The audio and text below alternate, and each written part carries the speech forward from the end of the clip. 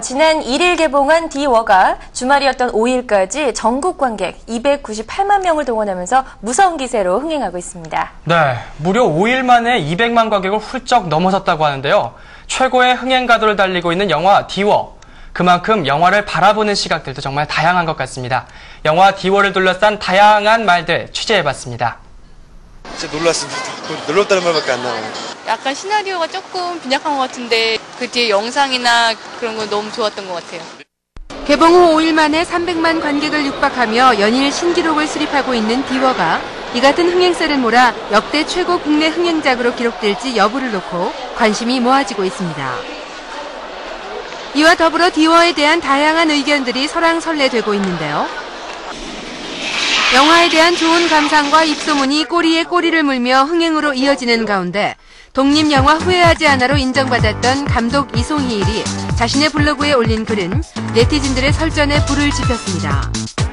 어, 영화로서 봐주시면 좋겠어요. 자꾸 영화를 사회 전반적인 문제 그리고 한국 영화에 대한 너무 전반적인 문제로 너무 이렇게 보다 보니까 여러 가지 오해들이 생기는 것 같고요.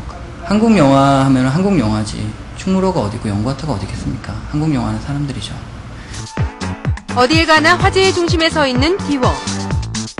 후회하지 않아를 제작했던 청년 필름의 김조광수 대표도 역시 영화인의 한 사람으로서 디워에 대한 소견을 밝혔습니다.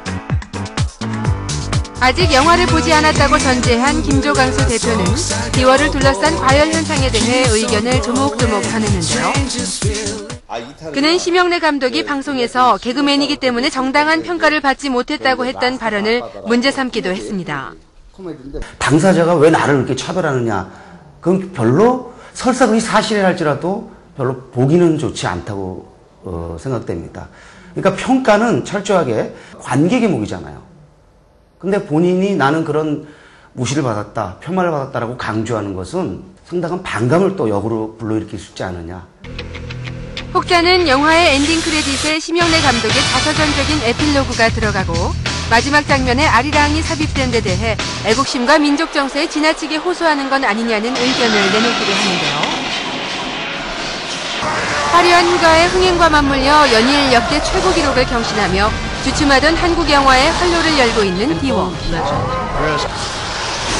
미개척지였던 SF 장르에 한국 영화 최초로 도전하고 미 전역의 1,500개 스크린이라는 wide release 개봉을 최초로 시도하는 디워는 어떠한 논란과 설왕설래도 불구하고 거침없는 흥행세를 보일 것으로 전망됩니다.